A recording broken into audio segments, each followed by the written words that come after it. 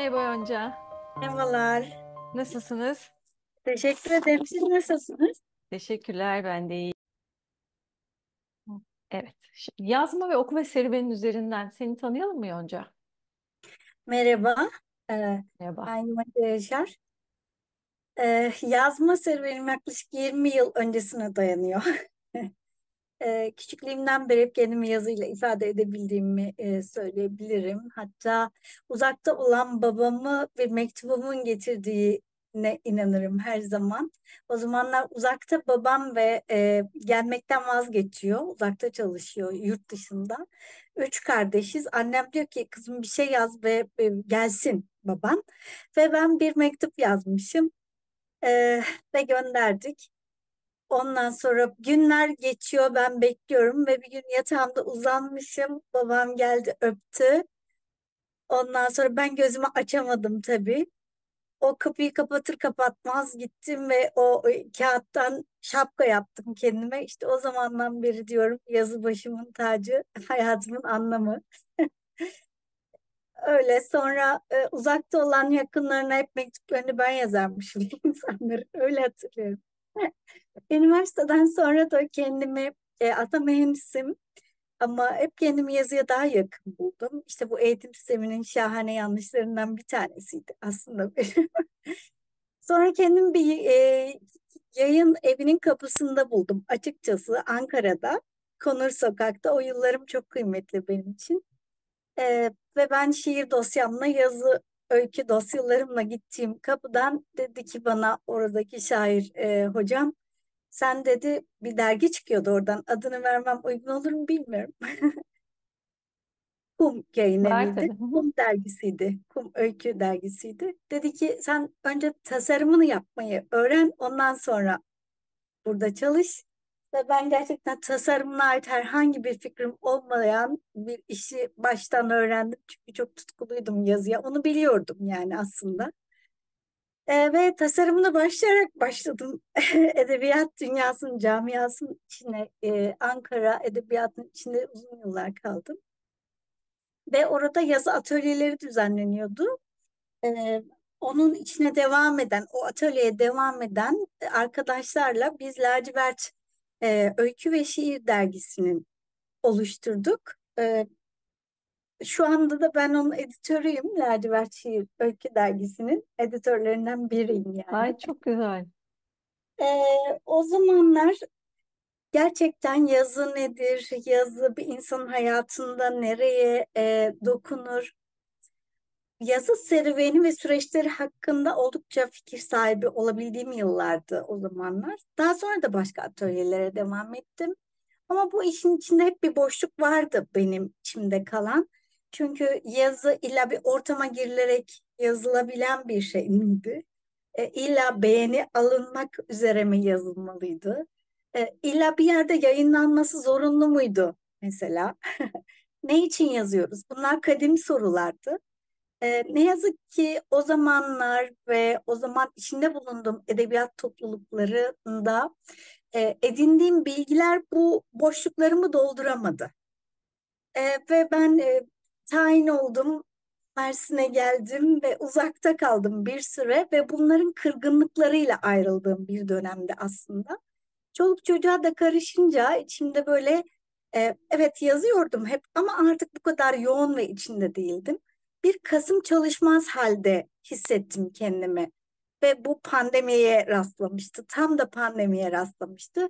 Tam da sizinle tanışmam da bu buraya denk geldi. Tam kapıların ardında kaldığımız zamana ve benim tabii ki tek yolum yine yazıydı. Ee, sanal yazı eviyle karşılaşınca gerçekten kendimi bir sığınakta hissettim. Güvenli bir sığınakta. Çünkü tüm diğer sorularımın da tam da yerini bulduğu, yavaş yavaş kendi yolunda akan, işin doğasında herhangi bir zorlama olmadan ve adım adım sakince gidebildiğim bir sığınaktı. Tam olarak böyleydi. Sonra da Nisan 2020'ye denk geliyor sanıyorum bu tarih. Sonra Mayıs ayında Judith Limerban'la Yeşim hocamız bir bir kapı açılır diğer kapı bir kapı kapanır diğer kapı açılır diye böyle şahane bir seriye denk geldim. O da tam bir şifaydı aslında benim için. E, sizin 6 dakikalık yazılarınızla e, kendimi buldum diyebilirim. Açıkçası tam böyle. O Kasım tekrar kasılmaya başladı. E, o zaten kapanma sürecinde yoğun tekrar imkanı buldum yazıya dönme.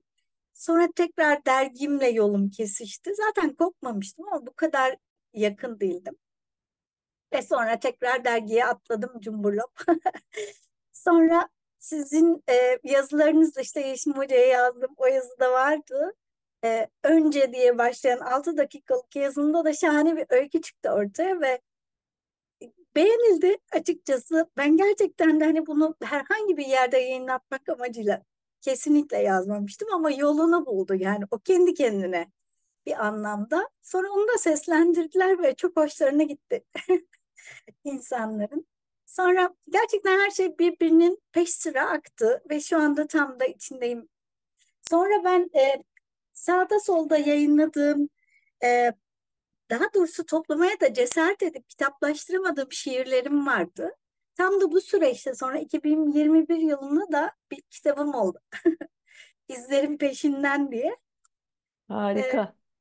gerçekten böyle sanal yazı evi benim hayatımda bir dönüm noktası. Yani. Öyle söyleyebilirim. Evet, yazı evinden önce ve sonra diye ayıracaktım devamındaki Evet, sorularda ama birleştirici bir şekilde çok güzel cevaplamış oldun Yonca. Hmm, Yani diyebiliriz ki yazı senin için nefes almak gibi bir şey ve aşağı yukarı sanal yazı eviyle yazının tekrar nasıl şekillendiğini anlattın. Peki yazı evinden önce ya da yazı evinden sonra belli bir ya o ara verdiğin dönemi dışarıda tutarak nasıl bir yazma disiplinin vardı? Nasıl bir sürecin vardı? Nelerden beslenirdin?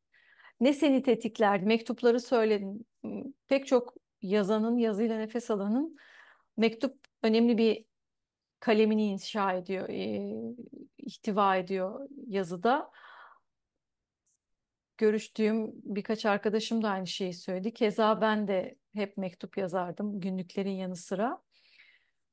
Bunun dışında ne, yazardın, nasıl yazardın, yazıya nasıl hazırlanırdın, rutinlerin var mıydı? Ee, olmazsa olmazların var mıydı? Yoksa çala kalem geldiğinde yazar mıydın? Bir hedefin var mıydı yazıya dair? Evet mühendis oldun. Yazı evinden önce bir takım çalışmalar yaptın. Yazı eviyle birlikte onun kapıları açmasıyla diyeyim ya da tekrar evet. çalmasıyla diyeyim kitaplaştı bazı şeyler vesaire. Ama Gerçekten bir de bu hedefin var mıydı? Hı hı. boşluğu doldurdu yazı evi benim için. Çünkü bir disipline her zaman sahip olmak istediğim bir disiplinin olabileceğini gösterdi bana sanal yazı evi aslında. Ve e, hep alışılageldik üzere yani ev hali, çocuk, iş falan biliyorsunuz yoğun koşturma telaşı içerisinde düzenli bir rutine sahip olabilmek bir lüks gelirdi hep bana. Ve bunun için hep koşulların hep uygun olmasını beklerdim. Bir bekleme haliydi aslında. Ee, evet yazıyordum ama çala kalemdi. Yani şu tetikleyen şeyler elbette ki olurdu. Haber artık bir yerden sonra dinlememeye ve izlememeye başladım açıkçası sağlığım açısından ama zaten iş yeri, çalışma hayatı, oradaki kırgınlıklar, kadınların halleri beni çok ilgilendirir olmuştu. Zaten hani e, en başından beriydi ama e, bir de evliliğin içine girince kendi içinde ve etraftaki gerçekten ciddi bir kadın mağduriyeti söz konusu ya. Yani ve onlar beni daha çok ilgilendirmeye başladı ama e, yazının bir disipline girmesi benim için sanal yazı eviyle oldu. Şunu öğrendim. Yani böyle çok geniş zamanları da beklememek lazım. Ve e, Kitap hayalim de elbette ama nereden başlayacağımı da açıkçası bilmiyordum. Evet, bir şeyler yazacağımı biliyordum ve her zaman yazacağımı biliyordum. Öykülerim de vardı. Bunları nasıl akıtacağımı yol yöntem olarak bunu söyleyebilirim ki gerçekten en hani iyileştirici olarak bir, bir, e, nehir düşünün. Hani o nehirin tıkanmış bir nehir ve o taşları tek tek sabırla böyle kenara çekmeyi öğretti bana sanal yazı evi. Çünkü e, ben hep şeye inanıyordum. meditasyonel bir şeyler de olmalıydı. Tıkanıyordum ve fiziksel anlamda da bir şeye ihtiyaç vardı. O da vardı sanal yazı evinde. Sonra diyordum ki insan illa bir amacı olmadan da yazmalı. Bu insana iyi geliyorsa bir akmalı. Ee, evet sabah sayfalarını zaten sizinle birlikte. ee, sonra sizin sayfanızdaki e, Cameron'ın kitabıyla birlikte e, gerçekten her gün adım adım artık her gün bir yazı ritüelim var. Ve yazan birinin önce yazıyor olması gerektiğini hep kendime derdim. Sen yazıyor musun? Evet yazıyorsun. Peki ama neden? Yani bir yazar yani bu, bunu hayatın bir parçası haline getirmeli bence diyordum. Ama işler böyle gitmiyordu. Tıkanınca tıkanıyordum. Ve bunun için artık bir mekan, bir zaman, ayrı bir şey gözetmeksizin e, durduğum her yerde e, ister cep telefonuma, ister defterime, not defterime bir şeyler karalıyorum. Sonra onlar birleşiyor ve en güzeli de e, insanın kendi içindeki gizi fark ettiriyor sanal yazı evindeki alıştırmalar. Çünkü aslında bir yerlere dokunuyor. o kendinle çözemediğin bazı şeyler belki. Belki bir affetmek meselesi, belki çocukluğuna dair yenemediğin, yüzleşmek durumunda kaldığın bir şey belki seni tıkıyor. E, onları çok güzel açabiliyor. Yani bu anlamda e, kendimi hem güvende hissettiğim dediğim gibi hem de bu an e, yani benden önce birileri yürümüştü yolun, bu yolu ve böyle çok güzel yürümeye çalışıyorum. Oradaki yazı dostlarıyla paylaşımlar da çok hoş. E, aidiyet hissettiriyor. Ve sürecin içinde hissettiriyor. Bu bir süreç çünkü sonuç değil yani, yani yazı. E, böyle güzel bir serüvenin içinde hissettim yine kendimi. O kadar güzel ifade ettin ki Yonca. Hayranlıkla dinledim ve biz neymişiz dedim. Ay, e, ne güzel. Çok şükür bunları duymak çok güzel. Peki diyebiliriz ki yazı evi çok e, seni bir rutine soktu ya da rutin doğru kelime mi bilmiyorum ama bir şekilde bir parçası yaptı hayatının yazıyı tekrar. Evet, Ve amaç da edindirdi bu anlamda aslında. Yani yazmak için dediğin gibi nihai bir somut fiziki hedefin olması bence de tabii ki gerekmiyor. Tercih burada doğru yok dediğim gibi tercihler var. Kimi o evet. hedef doğrultusunda yazar, kimi işte senin benim gibi sadece yazar. Zaten Hank Hakan Günday hmm, tam hatırlamıyorum da mealen şöyle diyor. Meselesini hayatla ya da herhangi bir şeyle yazarak anlamaya çalışan herkes yazardır diyor. Hı hı. Ve bu anlamda yazarız yani. Evet. Ve Tabii dedin ya içinde olmak da bir sorumluluk gerektirdi tekrardan. Şimdi oraya da bir sürü Hı hı. şeyler aynı zamanda Evet. okuyoruz. E başka bir derginin yine e, yayın kurulundayım. Yani hem Hı hı. oraya öykü yazmak e, da Evet. hani artık paylaşmak daha keyifli ve daha hoş oldu benim için. Aha. Oraya E, geleceğim. kim Yolluyor musun öykü dergilere? Yani yazdıklarını şu an yazıyorsun aktif evet olarak evet anladığım kadarıyla. Nasıl bir süreç? Onu bize anlatır mısın? çıkıyor. Gönderiyorsun. Şimdi Reddedildin yakın. mi hiç? Reddedilince ne hissediyorsun? Biraz bunları anlatmanı isterim bize. Şimdi şöyle bir derginin yayın kurulunda olunca hani çok fazla dergiye bir gönderme durumu da olmuyor. Daha çok söyleşi yapıyorum. Söyleşiler e, çeşitli dergilerde yayınlandı. Yayınlanmaya da devam ediyor. Biri Karnaval dergi e, yayın hayatına Ocak ayında girmişti. Lacivertimiz var. İşte İstanbul'da çıkan birkaç dergiye. Yine Mersin'de çıkan iki dergiye de destek sağlamaya çalışıyorum. E, açıkçası tekrar yazının içinde bu kadar yoğunlaşmak hani çevreyi de oluşturdu kendiliğinden.